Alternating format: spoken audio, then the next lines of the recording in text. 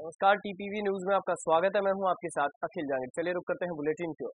हिंडौली की कृषि गोड़ मंडी में तहसीलदार केसरी सिंह ने मंडी सचिव मोहनलाल जाट और व्यापारियों के बीच समझाइश से सुलह करवाकर करसी मंडी में जिनसों की खरीद प्रक्रिया शुरू करवाई है। इस दौरान व्यापारियों ने मंडी सचिव के समक्ष अपनी समस्याएँ रखी, जिस पर गंभीरता से विचार विमर्श किया गया। इसके साथ ही एक एक ढेर की बोली लगवाने, लाइसेंसधारी व्यापारियों को ही मंडी खरीद प्रक्रिया में शामिल होने और किसानों को फ़सलों की उचित कीमत मिलने सहित बोली में पारदर्शिता रखने पर सहमति बनी।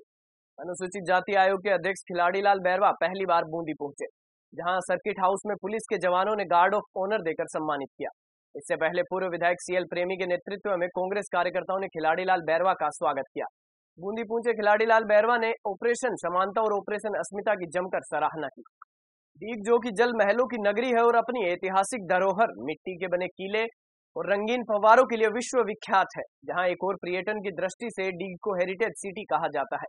वहीं पुराना बस स्टैंड स्थित किले के चारों ओर फैल रही गंदगी से कस्बे वासी काफ़ी परेशान नज़र आ रहे हैं। गंदगी का आलम यह है कि जल महलों के पास गंदगी से निकली दुर्गंध के कारण वहाँ से कोई राहगीर निकल भी नहीं सकता। वहीं दूसरी ओर नगर पालिका प्रशासन भी सफ़ाई पर कोई ध्यान नहीं दे रहा है। वहीं सब्ज़ी मंडी सहित कस्बे में जगह जगह गंदगी का यही दृश्य दिखाई दे रहा है। डीग में गंदा पानी आ रहा है, मोहल्ला बस्तियों का। कुंडे में जा रहा है? गंदगी गंदगी फैली हुई है। गंदगी की समस्या चली जाए गंदगी का पानी कुंडे में नहीं दिया जाया जाए। इसका नाला या तो नाला बने या तो व्यवस्था करी जाए। अच्छा आप पहले कोई किसी भी अधिकारी को सूचित करा चुके हो हाँ अधिकारी को कहिए ना। एडीएम साहब को भी बोला पहले। करीब साल भर पहले की बात। करौली में धार्मिक सद्भाव को बिगाड़ने की घटना के बाद अजमेर में भी धार्मिक सद्भाव को निशाने पर लेने की कोशिशें की जा रही है। हालाँकि अजमेर पुलिस ने इस पूरे मामले को गंभीरता से लिया है और किसी तरह की वारदात होने से पहले ही पुलिस ने सामने आए एक वीडियो को संज्ञान में लेते हुए अपनी जाँच शुरू कर दी है और सभी से सतर्क रहने की अपील की है। अजमेर एसपी विकास शर्मा के अनुसार सोशल मीडिया पर एक वीडियो पोस्ट की गई। इस वीडियो में दरगाह के मुख्य द्वार को दिखाते हुए वहाँ से गुजर रहे एक हिंदू रैली को प्रदर्शित किया गया है। पुलिस का कहना है इस वीडियो को टेम्पर पर किया गया है। इसमें वीडियो के मूल ऑडियो को हटाकर उसके स्थान पर ऐसा ऑडियो डाला गया है, जिससे समुदाय विशेष की धार्मिक भावनाएँ आहत हो सकती है। पुलिस इस पूरे मामले को लेकर गंभीर है और वीडियो को वायरल करने वालों की तलाश की जा रही है, जिसके खिलाफ पुलिस कार्रवाई को अंजाम देगी। एक कल एक फेक एक वीडियो जो है वो वायरल हो रहा था, जिसमें कि दरगाह के आगे से कुछ नारे लगाते हुए लोग निकल रहे थे और उसको बताया जा रहा था कि ये अभी अभी का वीडियो है जो भी भेजा गया है। इस बारे में सत्यता यही है कि इस समय इस समय इस तरह की कोई भी घटना नहीं हुई है और इस तरह के कोई भी लोग यहाँ से नहीं निकले हैं और इस कुछ लोगों के द्वारा इसको फेक वीडियो को वायरल किया जा रहा है। पुलिस ने उसको इस स्थिति को क्लियर किया है और इसका पता करके जो भी इसमें संबंधित है उसके खिलाफ कार्रवाई की जाएगी। कांग्रेस पूर्व प्रत्याशी और एआईसीसी सदस्य डॉक्टर रंजू रामावत ने बांकली ग्राम पंचायत क्षेत्र का दौरा कर जन सुनवाई की, जहाँ पर ग्रामीणों से गाँव की समस्याओं के बारे में रूबरू होते हुए सरकार की जन कल्याणकारी योजनाओं को लेकर समस्या सुनी।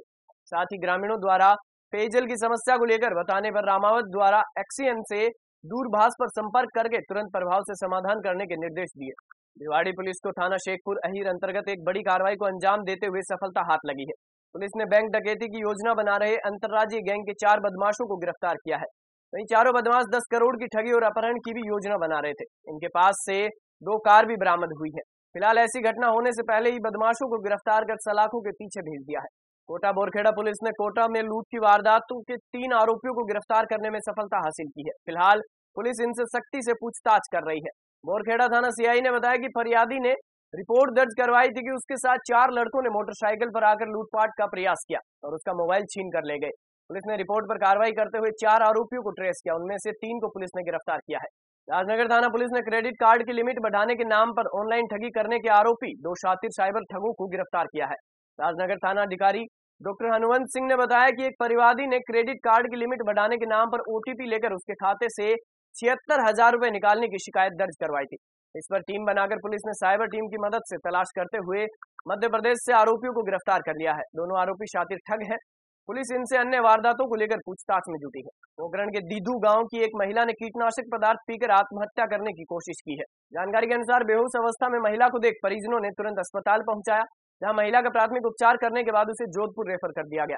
सूचना पर मौके पर पहुँची पुलिस ने महिला का बयान लेकर जाँच शुरू कर दी है। दीग में श्री वल्लभ राम शर्मा मानव सेवा समिति का पांचवा स्थापना दिवस मनाया गया। कार्यक्रम में सेवानिवृत्त आईएएस किशन सिंह आटोरिया भाजपा जिला अध्यक्ष डॉक्टर शैलेश सिंह मौजूद रहे।